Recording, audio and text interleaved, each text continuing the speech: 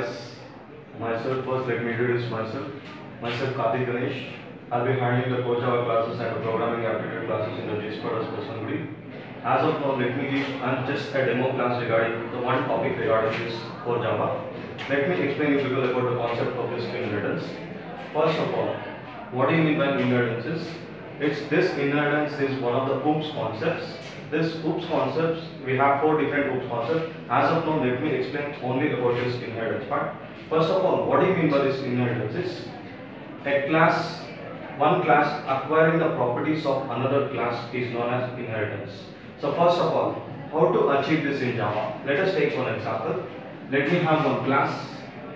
Let me name the class this as class sample1 within this let me have two properties one int a is equal to 10 and then we have one method. Let me have it as void and within this one system dot out dot println so let me just write one message executing.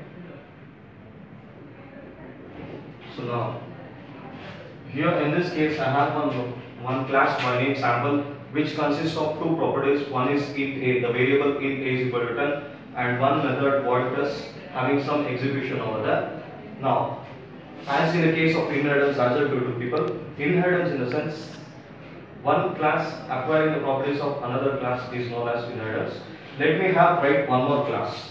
The other name of the class let me have it as class sample2 now, within this, I don't write any properties in this case.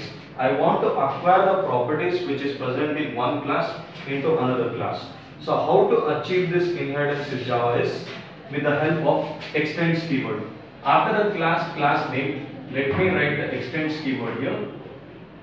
Extends, we have to write the name of the class which we want to acquire the properties. Now as of now this sample 2, I want to acquire the class that is sample 1 for this reason, after extends keywords, let me write the name of the class that is sample.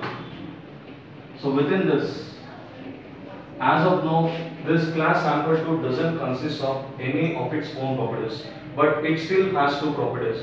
What are the two properties are? It is going to inherit or acquire the property which is present in sample class.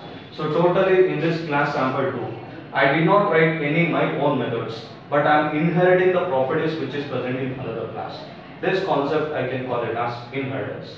Inheritance means one class acquiring the properties of another class. In this case, the class sample2 is acquiring the properties of this class sample. How to achieve this in Java is with the help of extends keyword.